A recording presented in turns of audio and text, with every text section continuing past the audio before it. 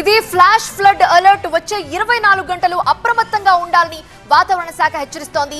ఉమ్మడి విశాఖతో పాటు గోదావరి జిల్లాల్లో భారీ వర్షాలు పడొచ్చని ఐఎండీ రిపోర్ట్. ఇప్పటికే ఏజెన్సీ ప్రాంతాల్లో కుండపోతగా వాన కురుస్తోంది. చిన్న బ్రేక్ ఇచ్చి మళ్ళీ ముంచేస్తోంది. అల్లూరు జిల్లా ఏజెన్సీ ప్రాంతాల్లో ఆకస్మిక వరదలు ముంచెత్తాయి. బ్రేకింగ్ న్యూస్ మనం చూస్తున్నాము. ఏజెన్సీలో ఉధృతంగా వాగులు ప్రవహిస్తున్నాయి. పెద్దబయలు మండలంలో పొంగి ప్రవహిస్తోంది. పెద్దగెడ్డ వాగు. వంతెన పైనుండి భారీగా వరద నీటి ప్రవాహం కొనసాగుతోంది. ఇరవై గిరిజన గ్రామాలకు రాకపోకలు బంద్ అయ్యాయి పాడేరు మండలం రాయగిడ్డ వంతెన దగ్గర వరద ఉధృతికి యువకుడు కొట్టుకుపోతుంటే గమనించి స్థానికులు అతన్ని కాపాడారు.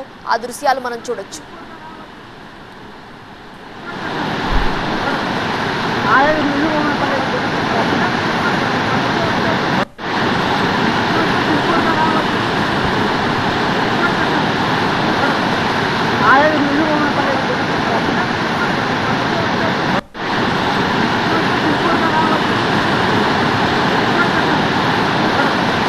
I